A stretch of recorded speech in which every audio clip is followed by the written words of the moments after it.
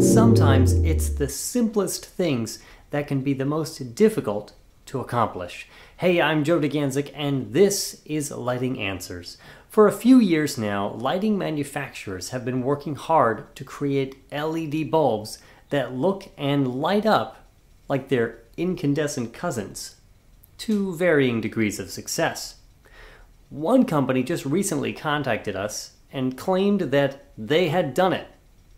Well, today we're taking a first look at the Uluxus LED light bulb. On looks alone, it's nearly indistinguishable from an incandescent light bulb with a completely smooth plastic shell that illuminates without dark spots. This omnidirectional light is especially helpful when placed under something like a lampshade as it creates an even glow without shadows. On power, the Energy Star certified Uluxus bulb is 20 to 30% more efficient on average than similar LED bulbs.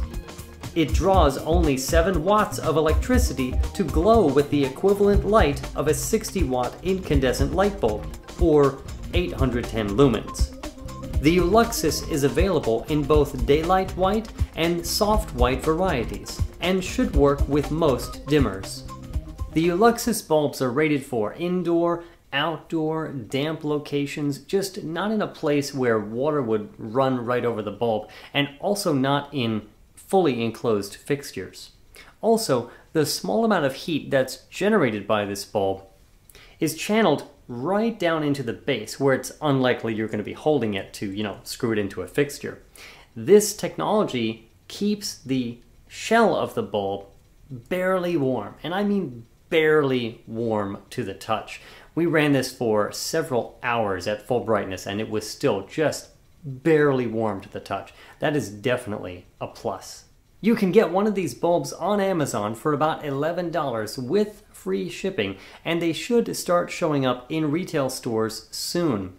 With its Energy Star certification, local utility rebates may lower the price a bit in local stores. So that's our first look at the Uluxus LED bulbs. We're gonna run these guys through our normal battery of tests and come back with a full review coming soon. If you haven't yet subscribed to Lighting Answers, you're missing out. Lighting Answers is news and reviews, plus ideas and projects covering lighting, some gadgets, and home automation. I'm Joe DeGanzik. See you next time.